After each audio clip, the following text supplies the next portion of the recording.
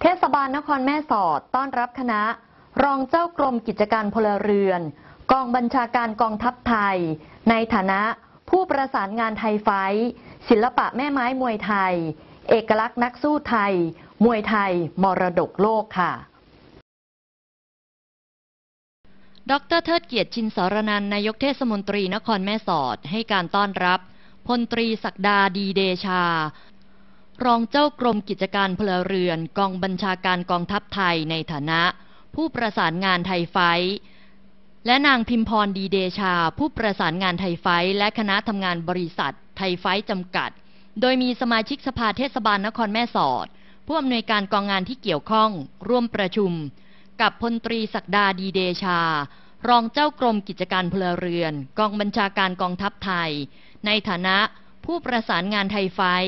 นางพิมพรดีเดชาผู้ประสานงานไทยไฟท์และคณะทำงานบริษัทไทยไฟท์จำกัด ที่ห้องประชุมนพรัตน์ชั้น 5 สำนักงงานเทศบาลนครแม่สอด ด้วยบริษัทไทยไฟท์จำกัด จะมีกำหนดการจัดการแข่งขันมวยไทยโลก หรือไทยไฟท์แม่สอด ในวันเสาร์ที่ 23 พฤศจิกายน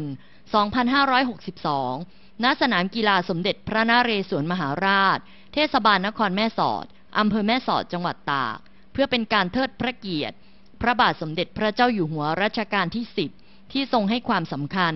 ในด้านการสืบสารวัฒนธรรม ศิลปะมวยไทยเพื่อยกระดับมวยไทย สู่สากลรวมถึงการพัฒนาด้านธุรกิจการท่องเที่ยว เพื่อสร้างความสามัคคีปรองดองของประชาชนในพื้นที่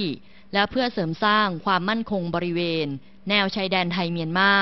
ซึ่งบริษัทไทยไฟจำกัด ได้ขอให้ทางเทศบาลนครแม่สอด ได้สนับสนุนสถานที่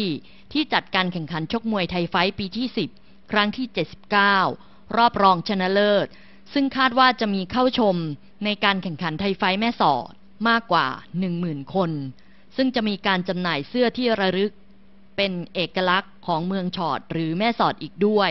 ซึ่งการจัดการแข่งขันไทยไฟแม่สอดนี้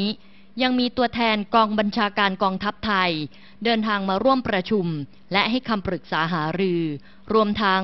การเป็นผู้ประสานงาน ในการจัดการแข่งขันดังกล่าว เพื่อประสานงานด้านความมั่นคงตามแนวชายแดน